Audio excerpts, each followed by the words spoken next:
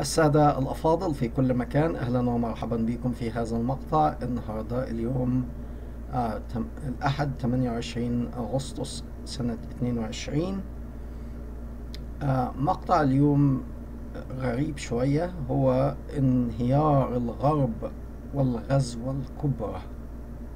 انهيار الغرب والغزوة الكبرى.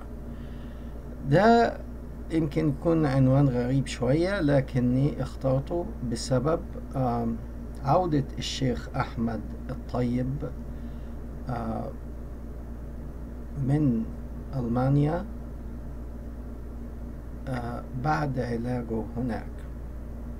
نتمنى الشفاء للشيخ أحمد الطيب ولأي مريض ونتمنى له الخير.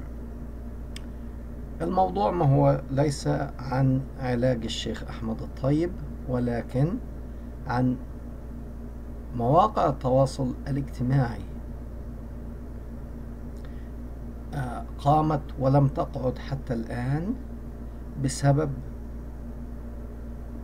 ليس بسبب الشيخ أحمد الطيب ولكن بسبب كتاب كان يقرأه الشيخ أحمد الطيب على متن الطائرة التي كانت تقود إلى العودة إلى مصر. اللي ما يعرفش مين هو الشيخ أحمد الطيب الشيخ أحمد الطيب هو مسؤول عن الأزهر والأزهر للي ما يعرفش الأزهر إيه هو الأزهر؟ الأزهر هو الهيئة التي تشرف على أحوال الإسلام أو هو اللي في ناس كتير بتقول هو لا يمثل الإسلام لكن رسميا رسميا للدول الإسلامية هو المرجعية التي يرجع إليها كل مسلم سني. ده معناته للي عايز يعني يشوف حجم أو ماهية الأمر ده مركزه ربما أعلى من البابا بابا الفاتيكان والسبب أنه حوالي 73% من المسلمين يعني أكثر من مليار مسلم آه هم من السنة.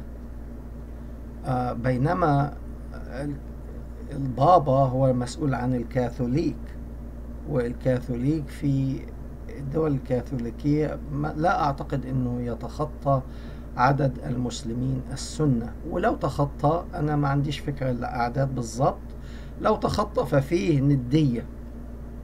فأنا بقول لك دي بس علشان تقدر تعرف حجم مركز الشيخ أحمد الطيب. الشيخ أحمد الطيب كان في شخص في الطائرة التقط له الصورة وهو جالس بعد العودة من العلاج في ألمانيا وهو يقرأ كتابه. ده شيء كويس إنه بيقضي الوقت في الاطلاع والمعرفة عشان ده راجل له وزن وله حجم.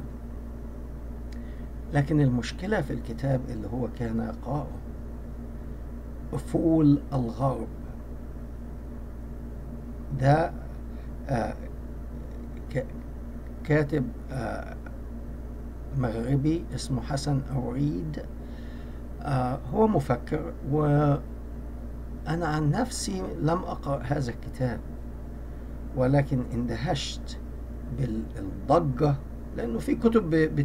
كل يوم كتب بتطلع وكتب قيمة جدا يعني مش معقولة إنك أنت هتقرا دايما يعني بتكدس أي كتاب سمعت عنه إنك خلاص عندك الوقت إنك تقرأه.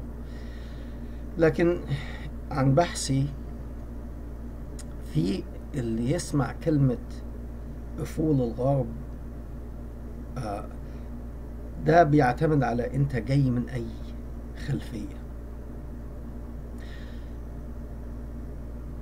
لو انت على سبيل المثال أنا عايش في أمريكا لما اسمع كلمة أفول الغرب أو اضمحلال الغرب ح... أو سأتفق مع هذا العنوان.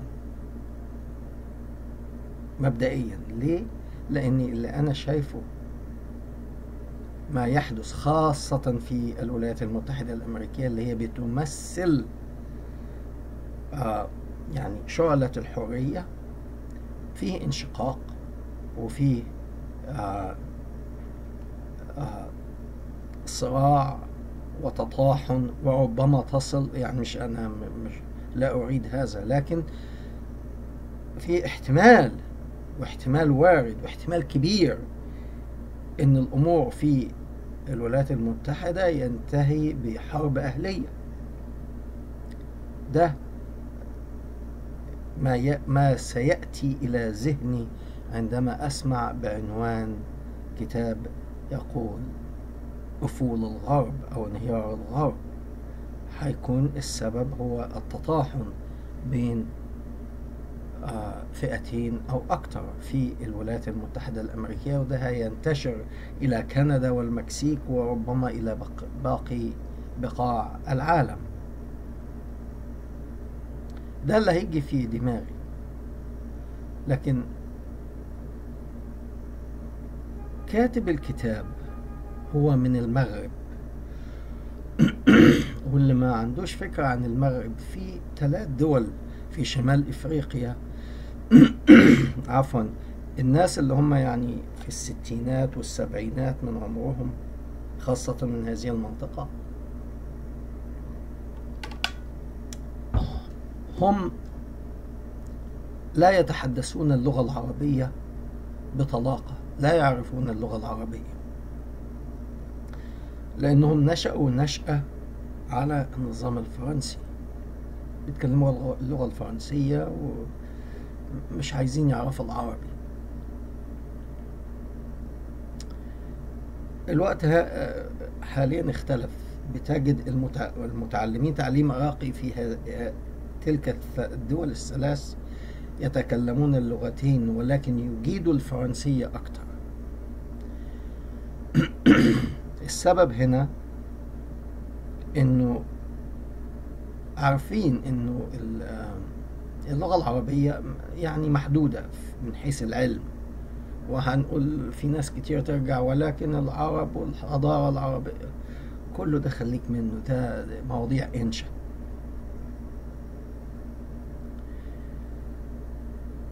ف أنا لم أقرأ الكتاب ولكن بمعرفة رجل يعني أعتقد أنه في الستينات من عمره حسن أوريد. لذلك هو رجل متعلم ومثقف ويجيد الفرنسية. وشخص على هذا العلم والمعرفة والثقافة لن يريد لبلده أو لأي بلد أخرى. إنها تصبح ديكتاتورية الخلافة كانت إيه؟ ديكتاتورية واحد فوق بيحكم والكل يقول سمعا وطاعة أو تقتل. فده راجل مفكر. لا أعتقد إن هو ألف الكتاب ده. أنا ما قريتش الكتاب. ما أنا احتمال. يكون فيه شيء مختلف عن استنتاجي عن شخصية هذا الكاتب ربما ولكن اعتقادي الشخصي عن خلفيته ان هو لم يكتب هذا الكتاب بقصد آه إنه الغرب هينهار ونطلع علشان كده. أنا سميت الفيديو انهيار الغز الغرب والغزوة الكبرى لأنه هو لا يعني هذا هو من وجهة نظره كما أعتقد أنا إن هو يعتقد إنه لو عند انهيار الغرب لو انهار الغرب الدول العربية والإسلامية س... ستصبح في ال... ستنتهي إلى العصر الحجري. ده ما يقصده بهذا العنوان. ليه؟ لأن الدول العربية والإسلامية تعتمد اعتماد كلي في بقائها الآن على الغرب. فلو انهار الغرب من وجهة نظره ستنهار كل الدول العربية والإسلامية. لكن ما هو الذي يدور في رأس الشيخ أحمد الطيب؟ الشيخ أحمد طيب راجل متعلم وعارف أين يقف الإسلام وعارف أين هي حدود الإسلام ويعي التاريخ جيدا. ويعلم انه لو انهار الغرب في خلال سنة أو اتنين لن تقوم يعني الإسلام هينتهي تماما. بأسرع من سيعانيه الغرب. ولكن أتذكر من حوالي 30 سنة كنت مع مجموعة كنا بندرس وكان في شخص بيدينا محاضرة وكان بيتكلم في المحاضرة إنه كان الراجل ده كان بيتنبأ إنه آجلا أم عاجلا. النظام الديمقراطي هش وسيتفكك وينهار. وأغلب المسلمين في المحاضرة إن لم يكن كلهم ما جاء إلى أذهانهم رجال ونساء. ده كويس جدا. ينهار الغرب وتبدأ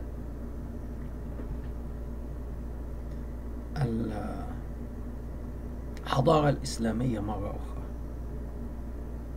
إحنا بقى اللي ندخل ونحكم بقى ويبقى عندنا خلافة.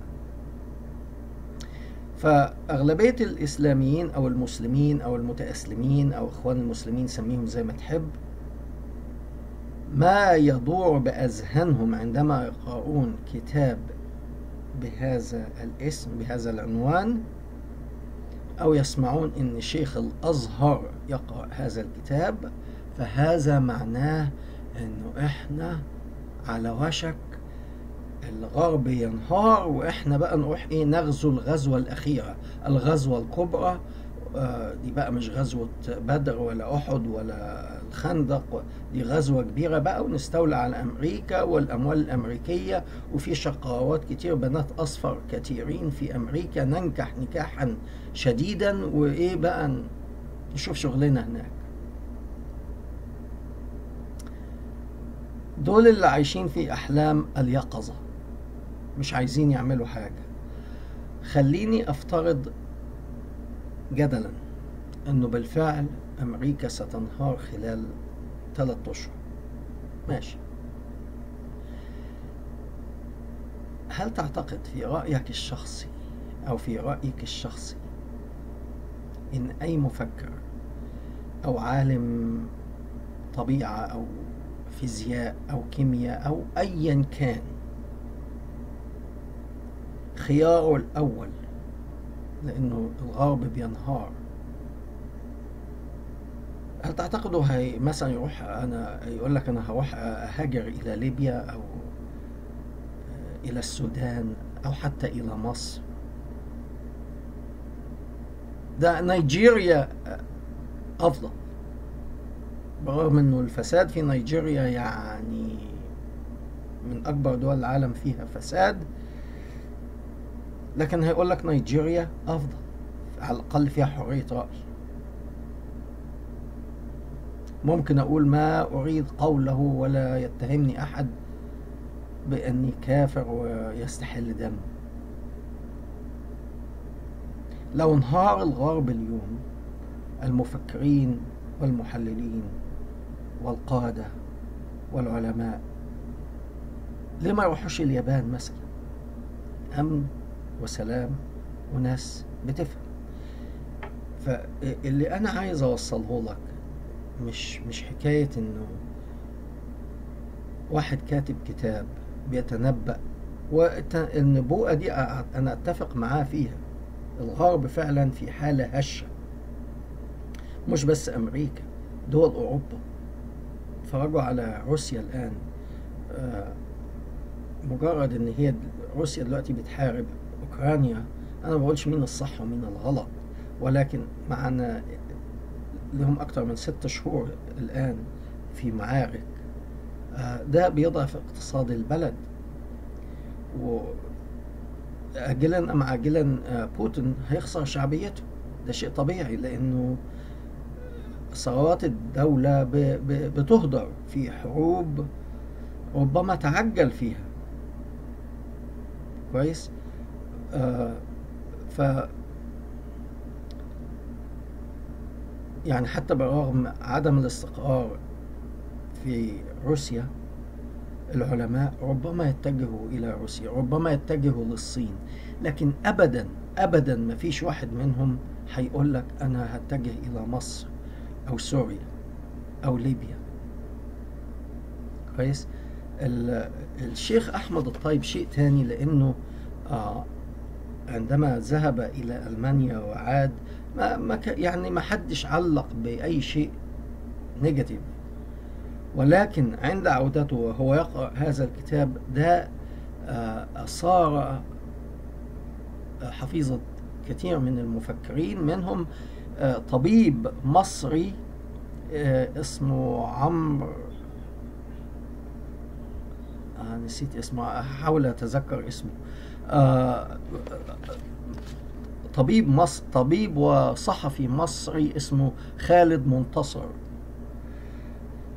هو راجل آه، متحرر في فكره فيعني طيب انت بت...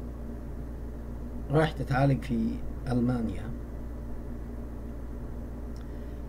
وبتأمل لأنه ده أنا كمان أتفق مع خالد منتصر إنه آه، قراءة الشيخ أحمد الطيب لهذا الكتاب إنه هو بيأمل إنه الغرب ينهار. خلينا واقعيين. عشان يقوم هو بنشر الفكر بتاعه. بيأمل إنه الغرب ينهار. فخالد منتصر كطبيب هو طبيب وإعلامي بيقول له يعني أنت رحت تتعالج عند الناس دول وراكب طيارة أمريكية و بت... عامل... عاملين لك فحوصات في ألمانيا وبتاخد علاج أمريكي مثلا أو كذا. فكونك إنك تتمنى انهيار الغرب ده هيجي بال... بالإساءة ليك شخصيا. لأنه واضح جدا إنه ال...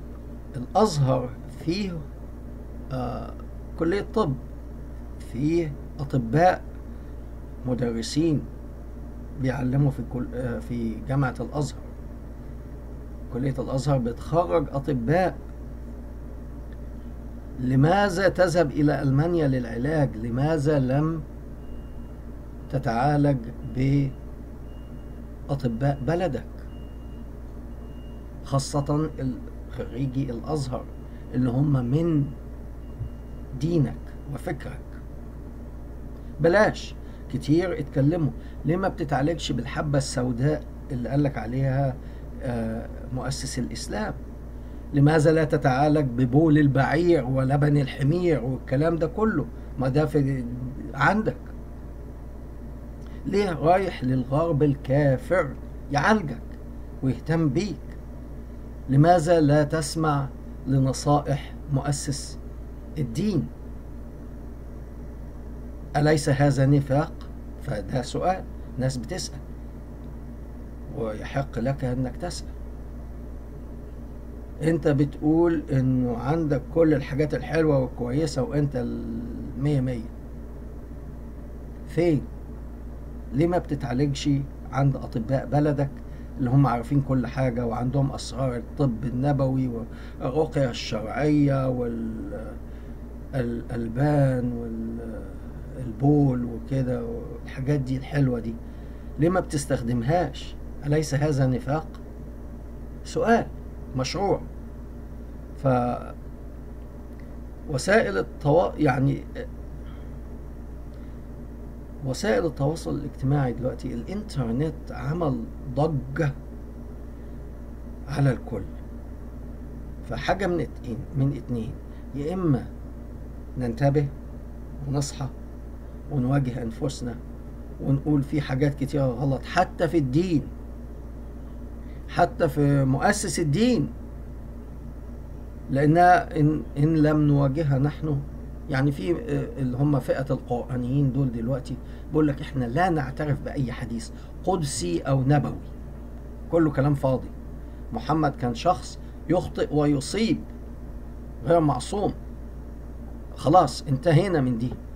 ولسه عندهم خطوة تانية. طب والآيات الموجودة في القرآن اللي هي آه، بعض منها يعني آه، مخزي مش عارفين يعملوا فيها إيه.